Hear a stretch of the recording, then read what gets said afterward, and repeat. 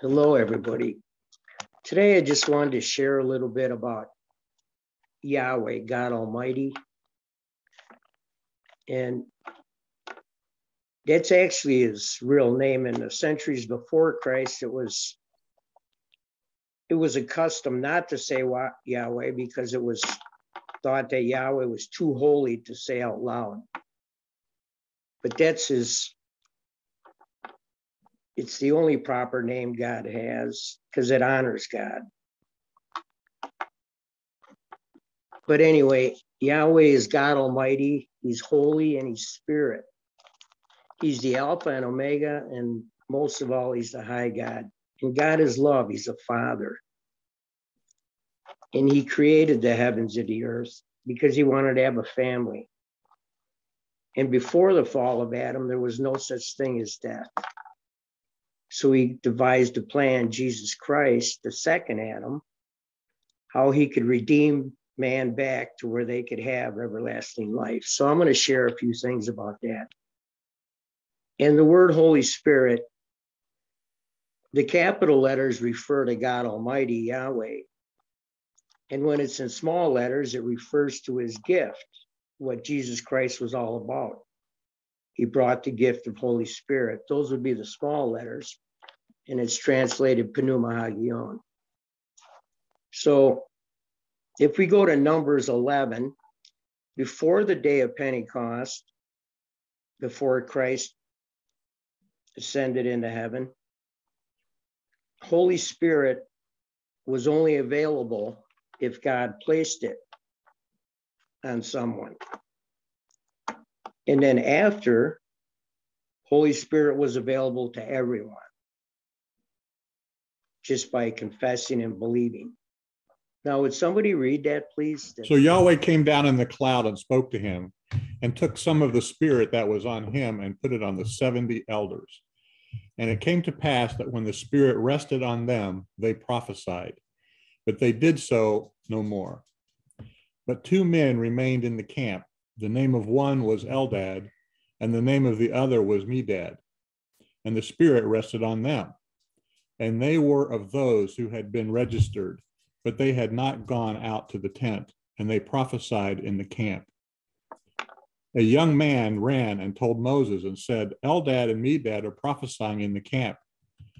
Joshua the son of Nun, the servant of Moses, one of his chosen men, answered, My lord Moses, forbid them. Moses said to them, Are you jealous for my sake? I wish that all Yahweh's people were prophets, that Yahweh would put his spirit on them. So that's an example. God would put spirit. And would somebody read 1 Samuel 16 13?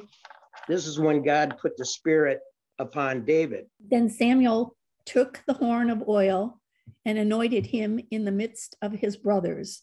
And the spirit of Yahweh rushed upon David from that day forward. Then Samuel rose up and went to Ramah. And I'll just throw in there after David sinned, he was the most his prayer, the most important thing was, Father, please don't remove my Holy Spirit. Okay, so then we go to John 4 24, and that's God is spirit, and those who worship him must worship him in spirit. So then God's is big in your life as you make them. He's as big as big in our life as we make them. If we go to Proverbs 1 7, the fear of Yahweh is the beginning of knowledge, but fools show contempt for wisdom and sound teaching. And then Proverbs 9 10. I got that. Um, Proverbs 9 10, the fear of Yahweh is the starting point of wisdom, and the knowledge of the Holy One is the starting point of understanding. Okay, I'm going to read John 3:16 and 3:17. Everybody knows those verses. said, "For God so loved the world that he gave his only begotten son, so that whoever believes in him will not perish, but have life in the age to come. For God did not send the son into the world to judge the world, but that the world should be saved through him." And in John 14, verse 1 and 6, not let your heart be troubled. Continue to trust in God and continue to trust in me. In my Father's house are many places to live. If it were not so, I would have told you, for I go to prepare a place for you. And if I go and prepare a place for you, I will come again and will receive you to myself, so that where I am, you will also be. And where I am going, you'll know the way. Thomas said to him, Lord, we do not know where you're going. How can we know the way? Jesus said to him, I am the way, the truth, and the life. No one comes to the Father except through me. And Jesus is the only one that ever got up. He conquered death. The only one out of all the gods today that died and rose again. And then in Acts chapter 1, verse 4, it says, This is when the apostles were waiting for Christ to come back. He says in verse 4 And being assembled together, the apostles with them, he commanded them not to depart from Jerusalem, but to wait for the promise of the Father, which he said, You have heard from me, because John baptized with water, but you will be baptized in Holy Spirit not many days from now. Now, when they now when they had come together, they asked him, saying, Lord, is it at this time you are going to restore the kingdom to Israel? And he said to them, It is not for you to know times or seasons that the Father has set within his own authority. But you will receive power when the Holy Spirit has come upon you. And you will be my witnesses both in Jerusalem and in all Judea and Samaria and to the uttermost part of the earth. And that applies today too, from as far as the east meets the west. You will be my witnesses. And the power he was talking about is in Acts chapter 2, verse 1. And when the day of Pentecost arrived, they were all together in one place. And suddenly a sound from heaven, like a strong rushing wind, and it filled the whole house where they were sitting. And there appeared to them tongues as if of fire, which spreading out came to rest upon each one of them. And they were all filled with the Holy Spirit and began to speak in other tongues as the Spirit gave them, giving them, was giving them to utterance. So they received the Holy Spirit. That was the gift that was promised and God had in his foreknowledge because the first Adam blew it. Jesus Christ was the second Adam. He lived a sinless life because he always chose to do the Father's will. And he was the Son of God.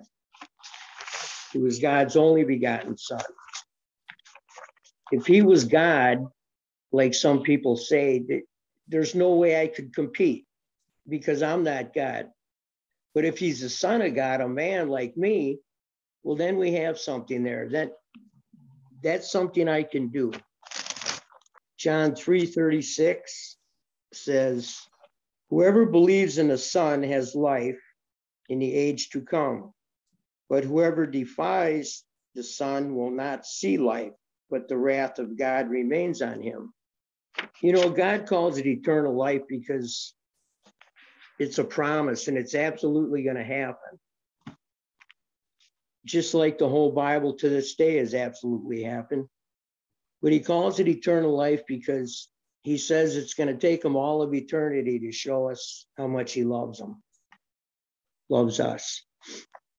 And First Timothy 2, verse 3 to 6. I'll read it. This is good and acceptable in the sight of God our Savior, who wants everyone to be saved and to come to a knowledge of the truth. For there is one God and one mediator between God and humankind, a man, Christ Jesus, who gave himself as a ransom for all, the testimony given at the proper time. Thank you. That's God's will. He wants everyone to be saved.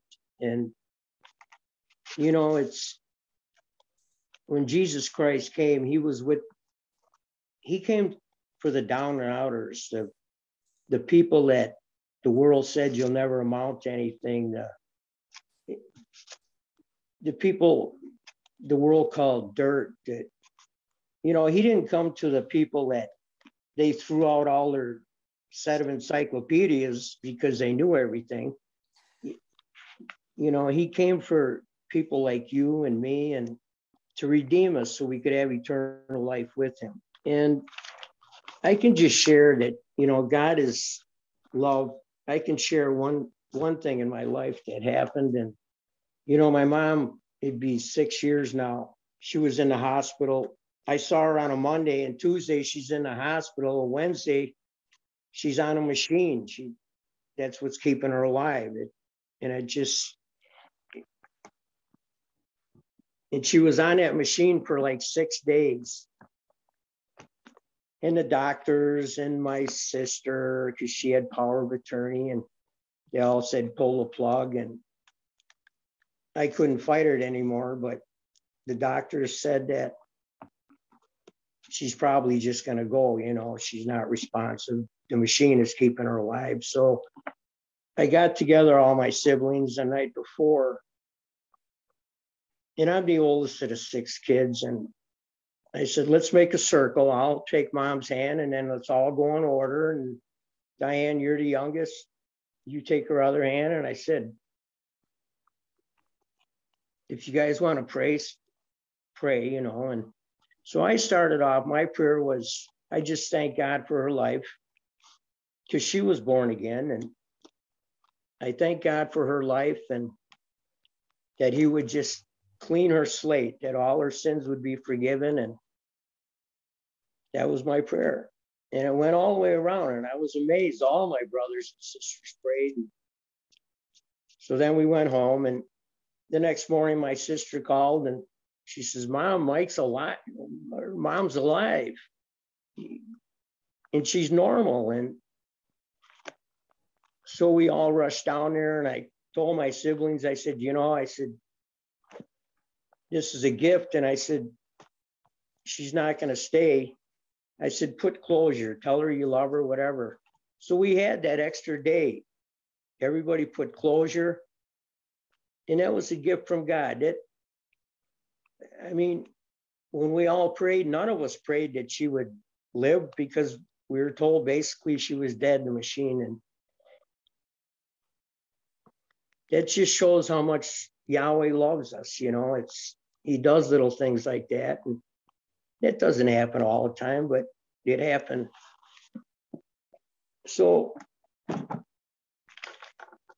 today we can't gamble. We need to get saved as soon as possible because anything could happen. We could get hit by a car. I mean, anything. And every time we look at the world or hear this or that, it's it's getting darker and darker, you know. So it'd be a wise thing to get saved as soon as you could. It's easy to do because somebody else paid for it. Christ gave his life, he paid for it. So that's why nobody has the power over death. I want to go to Ecclesiastes chapter 8. And if someone would read that, please. There is no man who has power over the spirit to retain the spirit, and no one has power over the day of his death. No one is discharged in that war, and wickedness will not rescue its owners. So that's why it's wise. And he's calling us.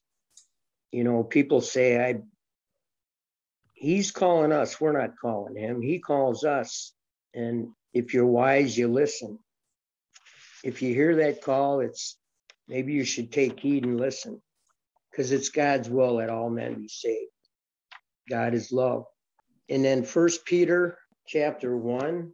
Starting in verse 3, First Peter 1 3 um, through 9.